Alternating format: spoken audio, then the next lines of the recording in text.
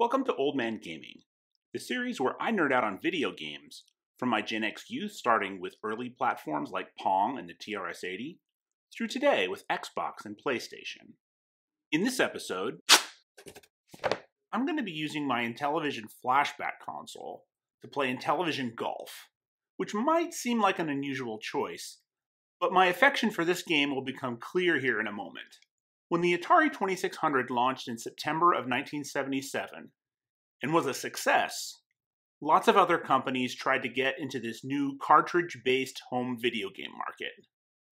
Mattel was among those companies, and they decided to use a more sophisticated chipset to give them better graphics they could use in marketing against Atari. The result was a better but more expensive experience. From my video on Skydiver for the Atari 2600, link in the description, that base system launched in 77 for a retail price of about $190, which is about equivalent to $850 today. By contrast, when Mattel launched the Intellivision in 1979, it went for $275 because of that chipset. And that's about $1,030 today and that's why I didn't get one until after the video game crash of 1983. My childhood best friend received an Intellivision from his stepdad a few years before I got mine. Here are his impressions, which you'll see were influenced by Mattel's marketing. So, for you, why the Intellivision over the Atari, and what were the first set of games that you remember having?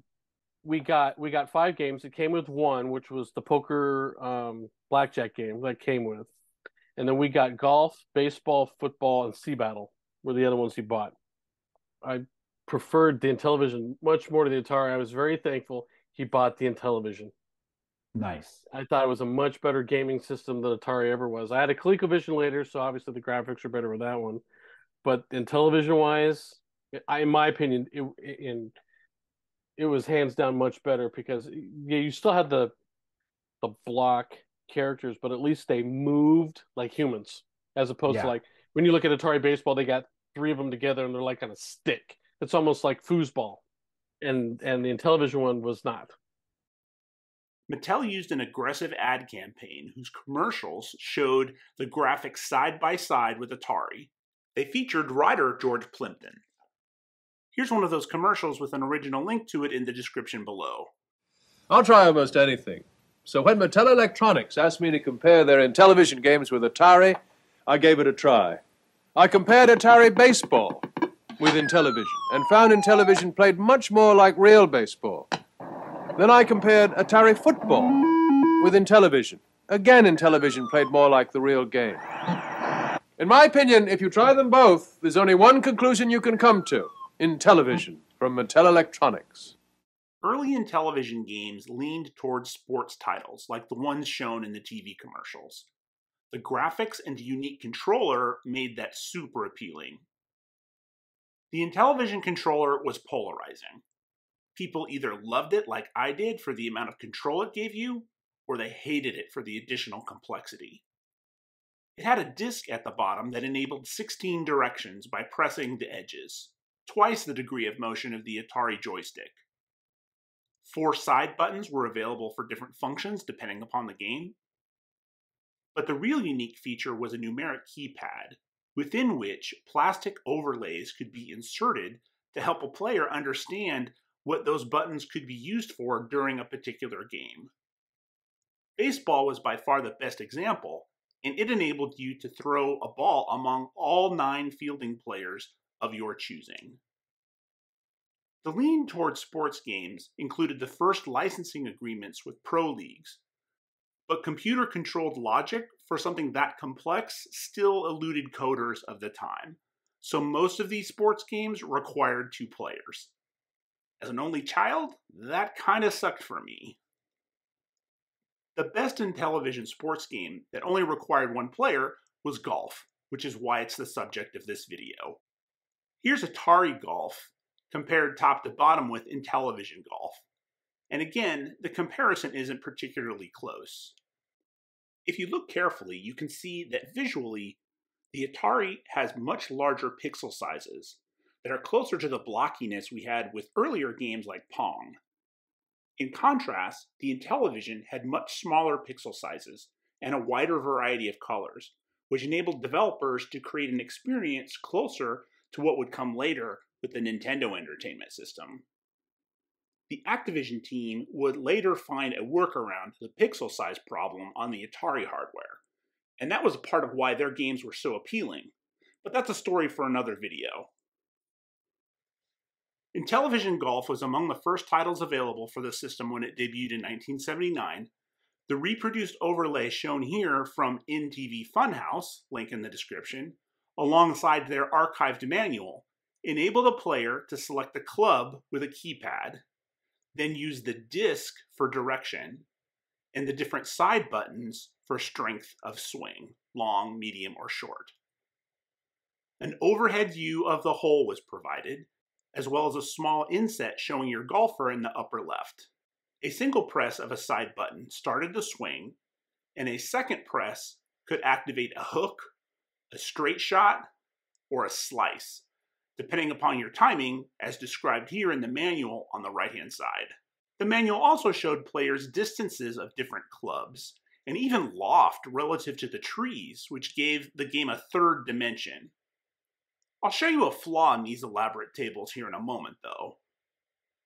A 9 hole 38 par course was provided, and while things like club selection and different swing strengths are commonplace among golf games today, this was pretty original for 1979. Let's get to the gameplay. So here's the default load screen for golf. Looks very similar to the ones for every other Intellivision game, which gave you this test pattern of colors along the top there, and this presents language with what the game is. If this was a single player game, we could select the difficulty level here by pushing one of the buttons on the keypad, but because this is really a multiplayer game, uh, strictly speaking, we're going to hit the disc here to move forward. We'll select the number of players, which right now is one, and we're presented with the first hole. On the left-hand side, you see that single stick that I'm able to move. That's the direction of my golfer. All golfers in Intellivision golf are right-handed, and that white line is meant to represent my shoulders. So in this direction here, we're going to be hitting the ball from left to right. Now notice right here, there's some trees that we want to try to avoid.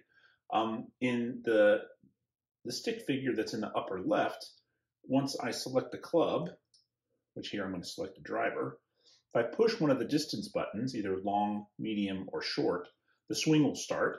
If I want to try to hook a shot, I'll hit the button again towards the top of the swing. If I want it to go straight towards the bottom, and if I want it to slice, I'll hit it after it's reached the bottom. So I'm going to try to hook here. Push the button a second time, and I get a nice curve here that goes up, above, and beyond. Now, it's not clear right now if I'm on the green or if I'm in the rough. And if I'm in the rough, I can't hit a wood here. So I'm going to hit a three iron. I'm going to try to hook this as much as possible to get it closer to the hole. I've got a long putt here. If I hook this putt, I might be able to get it in.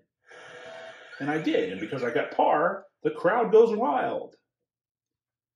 And here in hole two, notice that we've got some tree placement here. One of the cool things about this game is that it always varied where the tree placement was. So every time you played it, it was just a little bit different. I ought to be able to hit over these with the driver, but let's see if I can do it. Nope. So I hit that tree and it bounced back onto the fairway. I can only hit a driver on the tee shot now, if I want to, the longest club I have here is a three wood. So I'm going to hit this and I'm going to try to slice it towards that sand trap. So that was pretty good after recovering from our tree shot. Let's hit a three wood again and hook a little bit so that we don't hit the ball into the water. Now we've got a relatively straight shot down to the green. We've got to watch out for that tree. So let's try something smaller, more like a nine iron here. And we're going to try to slice it around this tree. Got over the tree nicely. and onto the green. I'll try the long putt.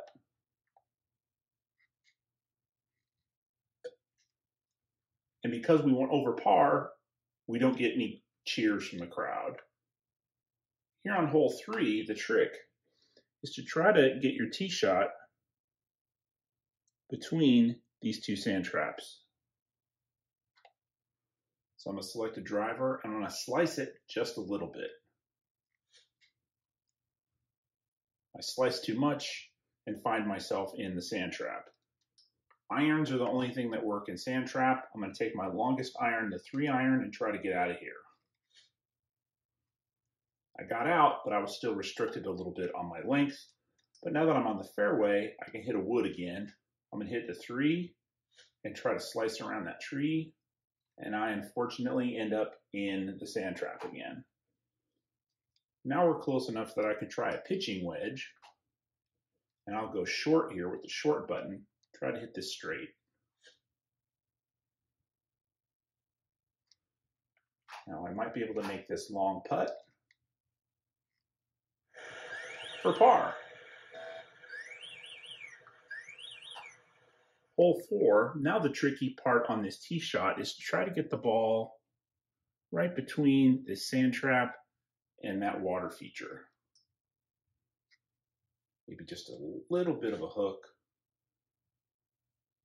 We made it. So we ought to be able to hit a three wood over that tree. We are managed to avoid the water hazard. And from here, let's try a three iron.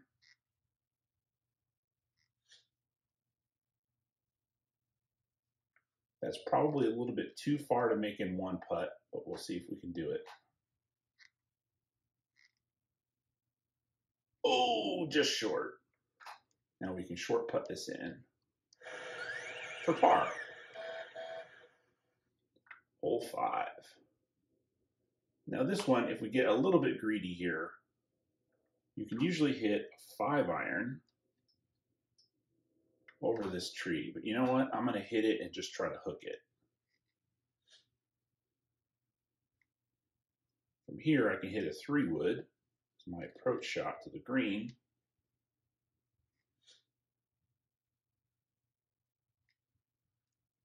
And now maybe a nine iron, medium, I'm going to say try to slice this just a little bit to try to straighten it out. Oh, so close. Now we should have an easy putt here for par. Hole six. Now this one, the tricky thing is we want to go and hit, instead of a driver, we're going to hit a three wood. I know from playing this enough that the driver is going to put us into that sand trap where the three wood will put us just short slice it just a little bit if I can. Ended up hitting it straight by accident. I'll take it. Hit another three wood to get us closer.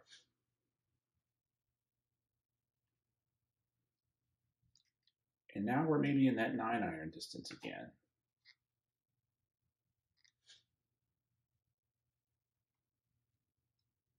Uh, I sliced that just a little bit, so I'm not sure I'm going to be able to make this in one long putt. Probably not. Nope. But now one medium putt ought to do it. And I'm over par on this one.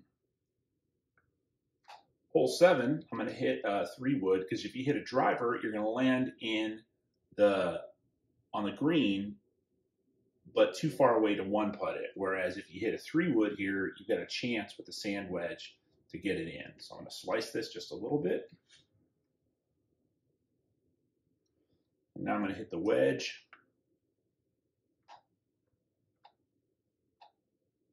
Medium.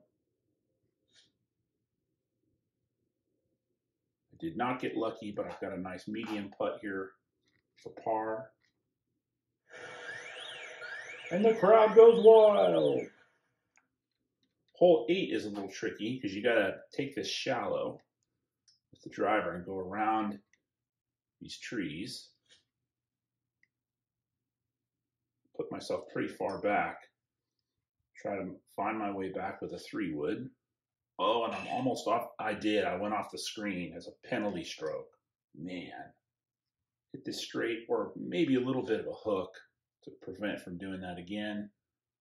Just short of the bunker there. Let's do a three wood again. I'm going to be into the rough over here. Man, I'm stinking this one up. Let's try that nine iron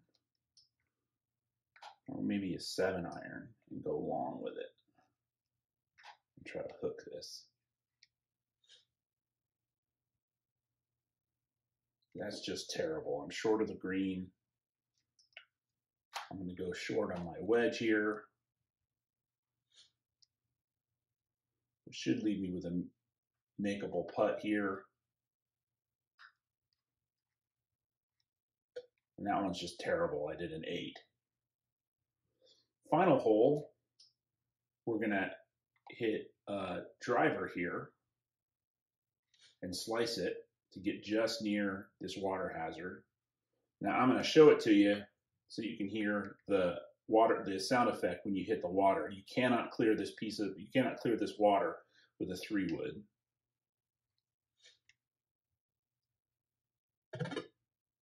That's the water hazard effect, which I always loved. But let's hit this three wood and slice it a little bit so we can try to curve ourselves around this tree. And of course, I'm into that bunker. Let's try to three iron our way out of here.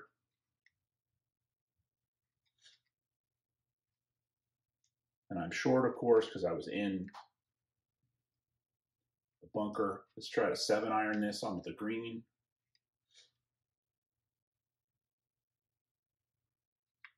That might be makeable for a seven with a long putt. No, and I just missed. But now a short putt to complete the round. We end up scoring a 46, par is 38. Really anything under 50 I'm happy with.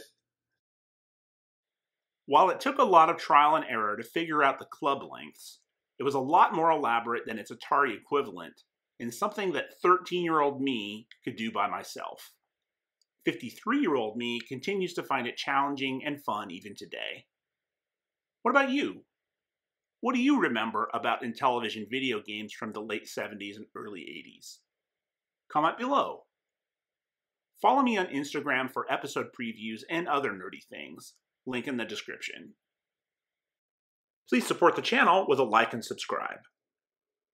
That's it for this episode, but join me next time when I take a look at the original 1983 Star Wars coin op game, which was not only a transformative experience to play, but is generally credited with being the first video game to contain movie dialogue. Thanks for watching.